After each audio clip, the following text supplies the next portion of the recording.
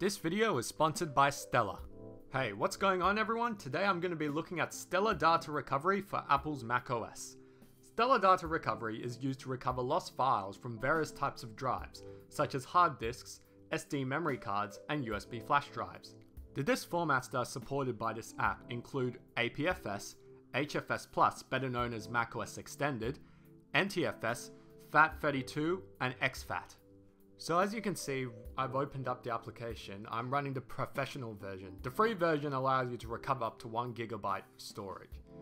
So we have the two options. We can either recover everything or we can choose our scan, which can include documents, emails, videos, audio, or photos. So we're going to recover everything in this case. And the target drive that we're going to use to recover files will be this untitled SD card, which appears to be blank. So we'll close that and we'll scan.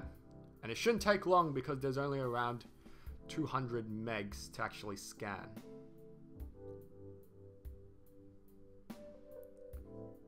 So now we've found 182 megs of recoverable data. So we'll click OK.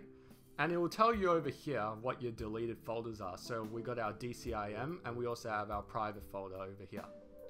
So we're going to open up DCIM and we're going to only recover a specific file first. So we'll click over here and we're going to recover DSC 00730. We can click recover.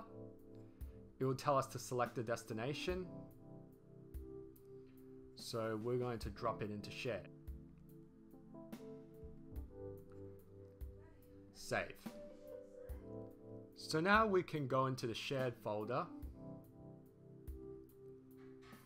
and we should see it over in root.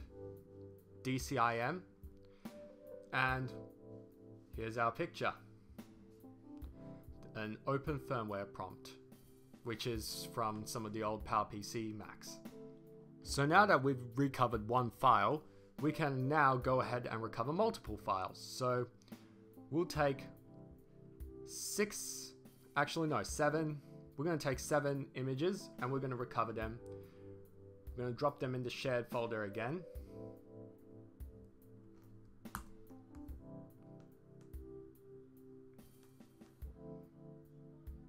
We'll override it. So now at this point, we can open up the Finder application. We can go into Macintosh HD, Users, Shared. We can click on Root again, DCIM, and we have all our multiple photos safe and sound. So that was a quick demo of Stellar Data Recovery. If you have any questions or comments, please leave them below. Thank you all for watching and see you all in my next video.